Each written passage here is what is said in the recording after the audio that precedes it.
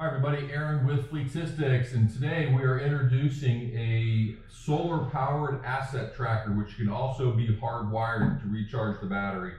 Uh, this is a IP67 rated device. Uh, obviously it can be quickly installed. It comes with a very large 3M uh, double-sided adhesive uh, tape. If you haven't used this tape before, you've got to know this stuff is great.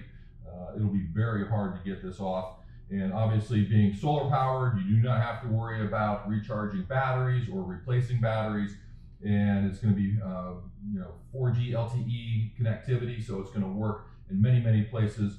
And it is a solid unit. I mean, when you put your hands on this, you really know that this was built well. It comes with a connector in the end, and when that actually is removed, it has a cap that you can screw on, but this is how you turn the unit on. You can also then obviously screw this into the end and then wire to your asset. So if you have an application for this type of rugged solar asset tracker, give Fleetistics a call. Love to talk to you about what your needs are. We've got a variety of other trailer and asset trackers uh, available, and, as well as vehicles and truck tracking. So give us a call and we'll work you through it. Thank you.